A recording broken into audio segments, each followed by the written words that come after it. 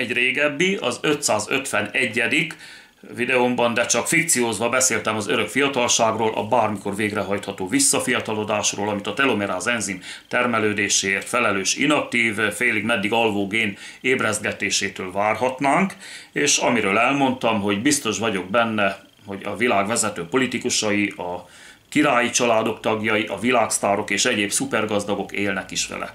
Visszafiatalodnak a fizikai fejlettségük csúcsára, 20-25 éves korukra, aztán tiszta lappal, új személyazonossággal kezdik az új életüket.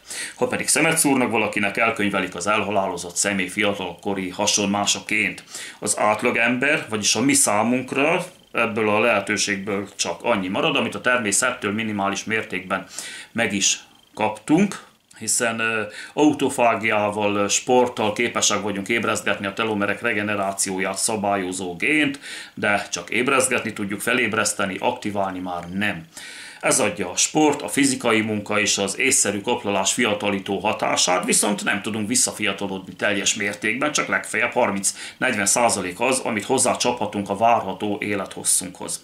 A másik lehetőség, amit a Yamanaka faktorokként azonosított négy genetikai tényező adhat, és amiért 2012-ben Nobel-díjat osztottak ki, már azt kínálja, hogy néhány hét alatt visszafiatalítja a sejtjeinket őssejt állapotba, ezzel visszahelyezve az egész testünket a fizikai fejlettsége csúcsára, azaz 20-25 éves életkornak megfelelő állapotba.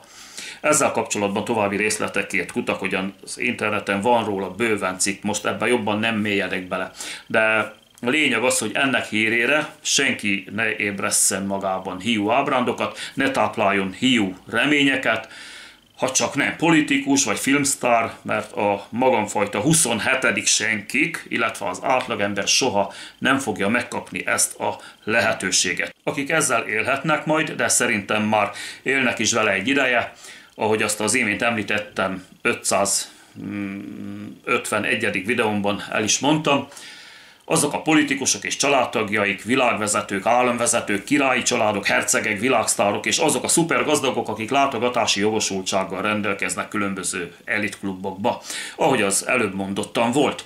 Megöregszenek, vagy balesetet szenvednek, rendeznek nekik egy szép temetést, aztán visszafiatalodnak, és egy új személyazonossággal újraindítják a számlálójukat.